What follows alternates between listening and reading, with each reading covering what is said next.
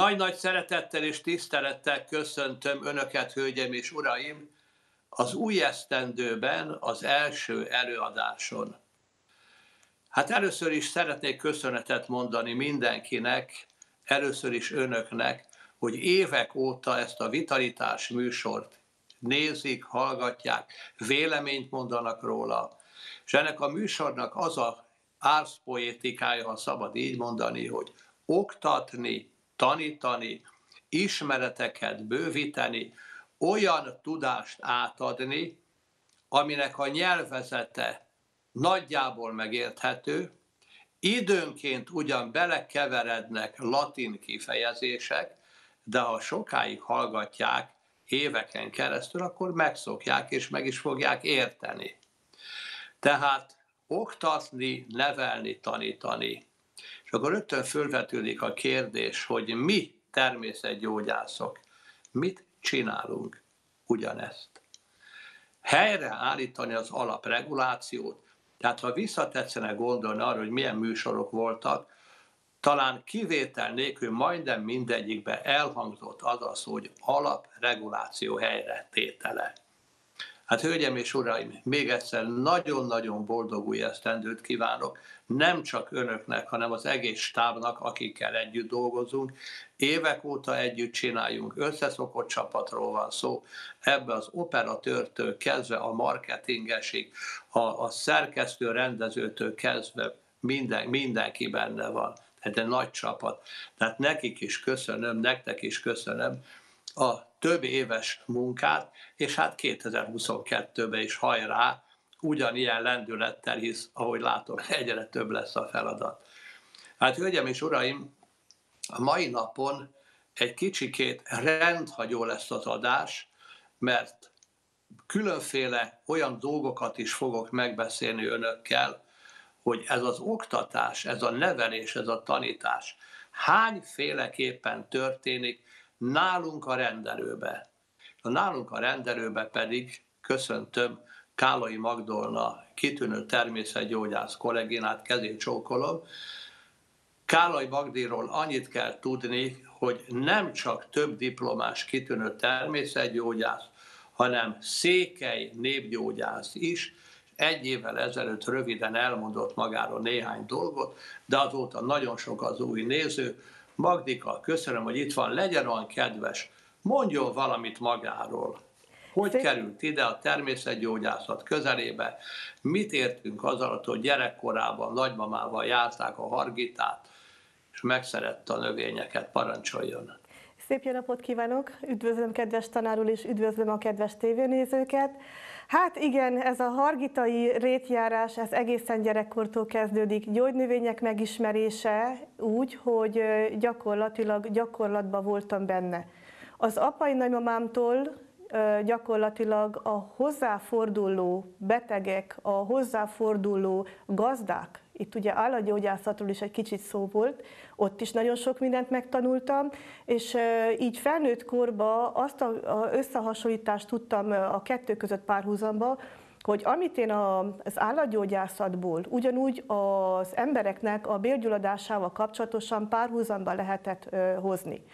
Itt mindig a megoldásokat kerestük, és ennek megfelelően mutogatta meg a gyógynövényeket, hogy mit ajánl hasmenésre, vagy milyen népi gyógyászati dolgokat lehet alkalmazni, úgy embernél, mint állatnál. Tehát volt egy nagyon érdekes történetünk, amikor egy medve disznót fogott meg, nem halt meg, hanem megmentették tulajdonképpen, hogy ne gegyesedjen el például a seb, hogy akkor azt hogy látták el.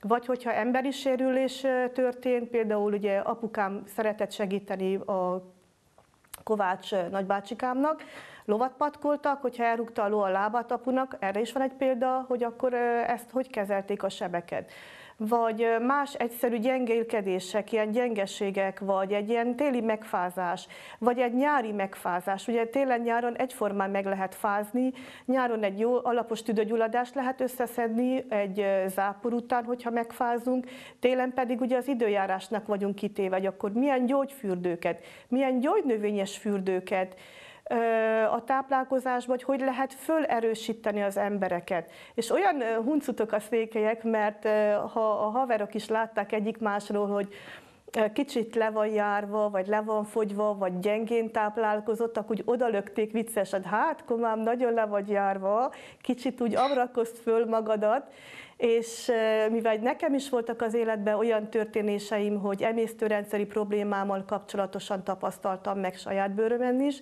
tényleg le voltam járva, és tényleg föl kellett egy kicsit kúráljam, úgymond abrakozzam magamat, és én így aztán termékfejlesztésekkel elkezdtem foglalkozni, gondolkozni, és ma már én inkább azt mondanám még magamról, hogy tulajdonképpen tradicionális, táplálkozási gondolkodó lettem, vagyis vagyok, és gyakorlatban is, amiben tudok, segítek, mert én szeretnék megmaradni a tradicionál. Tehát a tradicionális táplálkozásnál, tehát a kifejezetten paraszt kajánál. Helyes. Hát ez, ez a természetes. Azt ettük, ami az istálóba megtermett, ami az ólba megtermett, ami a kertbe megtermett. Én már egy párszor elmondtam, de az újabb kedvére elmondom, életemnek egyik legszebb szakasza az volt, amikor alsó Varténye pusztán, a nevébe is benne van, hogy nem a nyócker, szóval az alsó Varténye pusztán csak a só volt, amit nem mi termeltünk meg, de azon kívül az ég egyatta a világon minden, nem kellett érte boltba menni. És hát annak a rántott csirkének, meg annak az uborka salátának az íze, ami ott volt, mai napig is keresem, vágyódom utána, de már biztos, hogy, hogy ez majd, majd valamikor előjön, de hogy most már nem fogom megérezni, az biztos. Magnika kedves, azt mondja meg nekem, hogy erre a kitűnő alapra, ami nagyon keveseknek adódik meg, hogy lett maga természetgyógyász? Mit csinált, hogy tan, egyáltalán mi szólalt meg magába, hogy elinduljon a természetgyógyászat útján, és hogy most már több diplomás természetgyógyász. Hogy lett az én munkatársam? Még sosem beszéltünk erről, még sosem mertem magától megkérdezni, parancsoljon. Hát először is vissza a gyökerekig, nekem egy olyan szerencsés környezet volt, hogy az apai nagymama is és az anyai nagymama is gyógynövényesek voltak. Az egész környezetünk, és tulajdonképpen a, az egész a régió. Tehát én, amit ott tanultam gyerekként, teljesen természetes volt. Ott mai napig is használják nagyon sokan a népi gyógyászatot, és így, ahogy Magyarországra férjhez jöttem, nekem akkor tűnt föl, hogy itt a tradicionál, tradícióktól nagyon elszakadtak a, az emberek. Tehát kicsit a kényelem felé hajlottak, míg nekünk mindenért úgymond meg kellett dolgozni, önállátási gazdálkodásban voltunk, és ezért kénytelenek voltunk a magunk esze szerint gondolkozni, tehát mindig a járt utat, amit megtanultunk, azokat alkalmazni, vagy ez mellett még mindig gondolkodni. És ami bevált, az természetesen azt továbbra is láttuk, és használtuk, alkalmaztuk. Tehát itt a gyógynövényektől, a tejtermékeken át, ugye mert nem mindegy itt milyen tejtermékről van szó, akkor a házi ecettől a bedörzsölésig, a havasi virágmésztől, a propoliszos tinturákig, olykor még a pálinkát is ugye gyógyszerként elővettük, de soha nem indul úgy reggel, hogy gyógynövény teja ne legyen az asztalon. Tehát ez számomra egy szent dolog, hogy valamilyen fajta vegyes gyógynövénytejának az asztalon indítóként lenni kell. Aztán az egy másik dolog, hogy a férfiak mellett egy kis kupica indítót is, hogyha erre van lehetőségük, de igazából én a népi gyógyászatból a tradicionál, tradicionális dolgokat, a tradíciót vettem most újabbul nagyon fontos szemügyre, mert a táplálkozáson át, tehát itt alapozzuk meg az egészségünket, tehát belülről fakadó egészség, belülről fakadó, úgymond idézőjelbe egészség, szépség, vidámság, boldogság, és ez a, ez a nyugodt légkör, ami, amit biztosít a jólét, a jólétnek az a formája, hogy jól érzem magamat a bőrömbe. Tehát innen indul ki a jólét. Innen indul ki a nyugalom, innen indul ki a bölcsesség, innen indul ki a, hát a, nem is tudom úgy szavakkal kifejezni, de ez egy nagyon alap, alapérzés, egy alapbiztonság, és akkor ha a helyén van minden a táplálkozása, és igazából a természetes, tehát nem a vegyszeres, hanem a, a teljesen természetes, ami mondanám, hogy vegyszermentes. Na ez volt az alap. Hogy épült rá, hogy maga diplomás természetgyógyász, és milyen diplomái vannak? Hát egy kicsit hosszú volt az út, ugye népi megfigyelésekből, tehát ezt a tudást így magammal hozva, aztán a sors rejtegetett nekem is meglepetéseket, hála jó Istennek azon túl vagyok, tehát elő tudtam venni a tradíciót, ebből tudtam fölépülni, aztán újra haza Erdélybe, és még vissza Erdélybe gyógynövényeket gyűjteni, ezekből készítményeket is készíteni, tehát itt megemlítenék a vadgyümölcsöktől, a, amit belőle csak el lehet képzelni, tehát a mindenféle vadgyümölcs, és ezeknek ugye elég magas a beltartalmi értéke, és aztán még létrehoztam ilyen speciális saját magam receptjeimet, ami tulajdonképpen úgy éreztem, hogy a tradícióból, de ugyanakkor visszanyúlni a, a hagyományokhoz, aminek magasabb eltartalmi értéke, és inkább az egyszerűség. Na és aztán olyan sokan jöttek kérdezősködni, hogy te hogy gyógyultál meg, biztosan van valami trükköd, biztos több mindent ismersz, biztos így úgy, és amikor így hozzám fordultak többen, akkor mondtam, hát igen, ez volt, adtam ezt, egy csokor gyógynövény, még egy csokor másik gyógynövény, aztán készítmények, aztán nektárok, tehát ilyen vadgyümölcs nektárok, aztán egy kis terápia, egy kis masszás, egy kis ez, egy kis az, és rájöttem, hogy többet kérnek az emberek tőlem, mint amire nekem van keretem.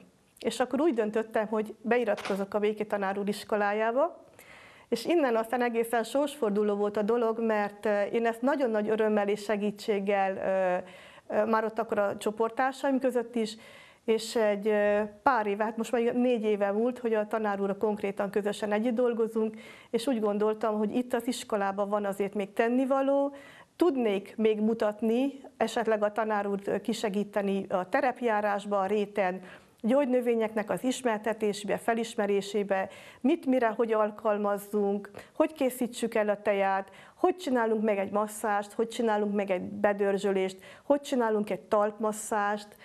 Aztán érdekes a fülakupunktúra, mert gyakorlatilag a székely mondásban van egy olyan is, hogy fülön foglak, fülön csíplek. És gyakorlatilag ez egy akupresszurás fogások. Úgyhogy mi ezt most szerencsére az iskolába normális keretek között fül akupunktúrát tanítunk, nem csak akupresszurát. Akkor például egyes eseteknél, hogy milyen táplálkozási szokásokat hagyjon el, és miket vegyen föl a tradícióba, a hagyományőrzésbe, hogy mik, amik beváltak. Tehát itt lépésről lépésre az iskolába és a hallgatóinknak megtanítsuk, és a betegeinknek is, akik hozzánk fordulnak, hogy nagyjából mit lehet, és a, a helyzethez képest az ő lehetőségeinek megfelelően ezeket ugye össze szoktuk válogatni, összeállígatni, de ez nem teljesen egyforma mindenkire. Tehát ezért foglalkozunk külön a betegeinkkel, nem egyforma kabátot adunk föl mindenkire, hanem személyre szabottan. És ezért, akit érdekel, tehát várjuk sok szeretettel akár a rendelőbe, akár a tanfolyamainkra, hogy ha ő választ szeretne kapni konkrétan az ő problémájára, akkor az ő kabátját adjuk rá, ne pedig egy másikét és a harmadikét. Tehát itt van ezért a személyes konzultáció, tehát ezért többen megkérdezik, hogy hát miért nem mondasz most többet, mert nem lehet általánosítani. Tehát itt ember és helyzetek között különbségek vannak. És én tulajdonképpen a hagyományos természetgyógyászatnak ezen a terén szerettem volna a tanár úr mellett, így a természetgyógyászati iskolán belül még elmagyarázni olyan gyakorlati fogásokat, amit úgy gondoltam, hogy még kiegészíti a kötelező tananyagot. Köszönöm szépen. Hölgyeim és uraim, ne dicsekedésnek tetszenek venni. Én az Állami Vizsgabizottságnak kilenc tantárgyból az elnöke vagyok.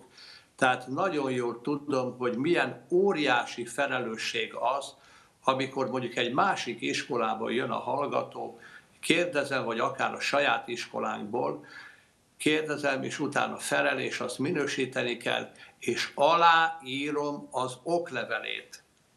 Tanítványaim, tanítványaink Ausztráliától Szaudi-Arábiáig, az Európai Unióban tengeren túlig mindenhol megtalálhatóak, tehát úgy néz ki, hogy ez a fajta oktatási rendszer, ez megfelelő és jó. És annak meg külön örülök, amikor a világ végéről fölhívják az embert, hogy hát ez és ez a helyzet, ezt és ezt gondoltam, mit csináljak, jó-e, és akkor az ember általában 80-90 százalékban azt mondja, hogy kitűnő, ebből egy kicsit kevesebbet, ezt meg vegyük be, és akkor szépen mennek a dolgok, visszaszólnak, hogy jól működött.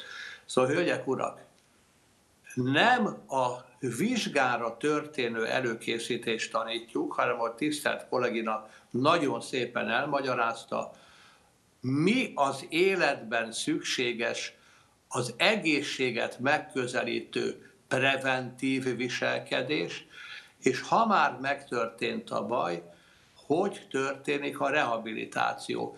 Kuratív terápiával is foglalkozunk, de az nagyon kicsi rész, tehát a mi feladatunk a megelőzés, és ha már túl van a, a, a nehezén, akkor a rehabilitáció, hogy ne jöjjön tovább. Hát, hogy milyen betegségekkel fordulnak hozzánk, hát ez rendkívül érdekes. Az emésztő rendszernek a szájüregtől a végbélnyilásig az összes, összes gyulladásos betegsége. Itt a nyálkahártya gyulladás, például a szájüregbe, íngyulladás, nyelőcsőgyulladás, refluxok, spanaszok, gyomorban levő mikrobiológiai egyensúlyvesztés, Helicobacter pylorira gondolok, vagy például a reflux, amikor feljön a nyelőcsőbe és szétmarja a dolgot, visszabukik a légcsőbe, és ezért reggel így kahácsol. Nem pulmonológiai, nem tüdő folyamat, hanem hanem, hanem, hanem gyomor és, és mentális dolog. Utána megyünk tovább. Mi van a májjal? Ezer feladata van hogy működik az epe, termele epesavakat. Epesav nélkül nincs emésztés. Gyulladt-e a vékonybél nyálkahártyája? Milyen állapotban van a hasnyálmirigy, a pankreász? Hogy kell támogatni? Vannak-e emésztőre enzimek, vagy nincsenek? Miért alakult ki a gyulladás? Mi van a vastagbélben? Hogy tudjuk etetni a bennünk levő jó mikroorganizmusokat, adunk-e elegendő élelmi rostot, kap-e elegendő zsíradékot, hogy az epesavak valóban bekerüljenek a rendszerbe. És ami a legfontosabb, hölgyek, urak, ez döbbenetesen, annyiszor el akartam mondani, és most, most itt lehetőség van rá. Én mindig úgy kezdem a hozzám fordulókkal a beszélgetés, mert beszélgetés, hogy meséljen a gyerekkoráról meséljen arról, hogy amikor anyu meg apu megszerették, a szerelem tüzébe fogant, vagy valami más dolog volt.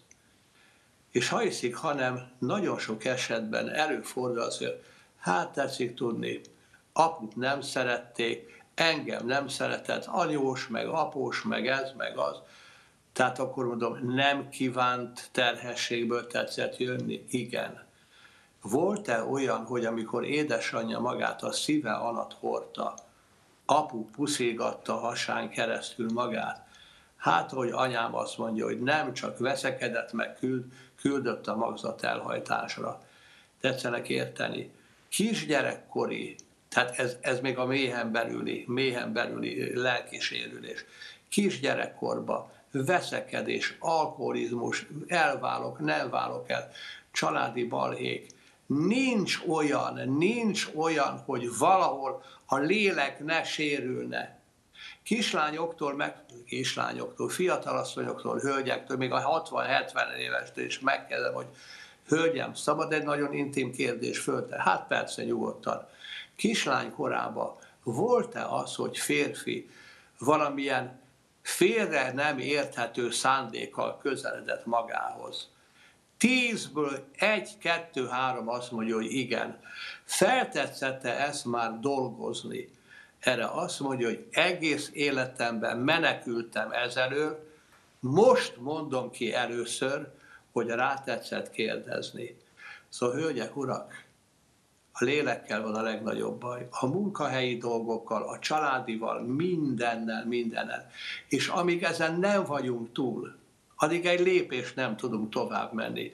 Mert ha nem tudja megemészteni ezeket a borzalmas dolgokat, ha megfekszi a gyomrát, ha csak rágódik rajta, ha epésen éli az életét, ha meg van keseredve, rengeteg gastroenterológiai népi bölcselet van, addig én hiába írom fel a teját, hiába kapja a diétát, látszat eredmény lesz, ez pontosan annyit ér, mint a gyógyszer.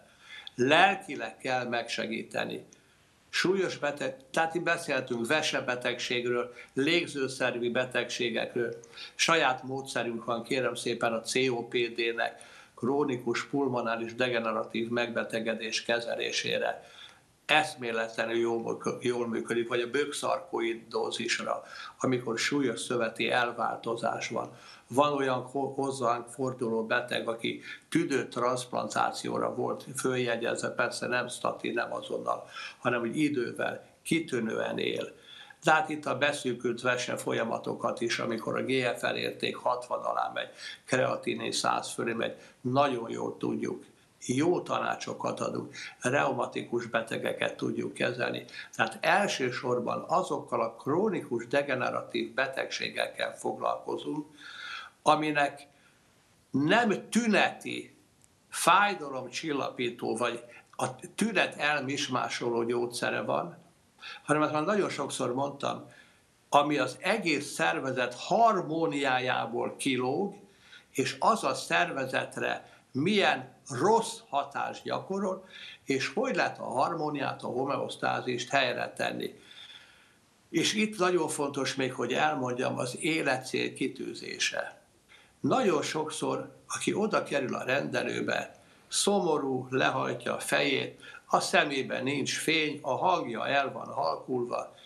Miért tetszett jönni? Tessék engem meggyógyítani. Nem ne haragudjon, ilyenhez nem értünk, se én, se itt a kollégina, még senkit nem gyógyítottunk meg.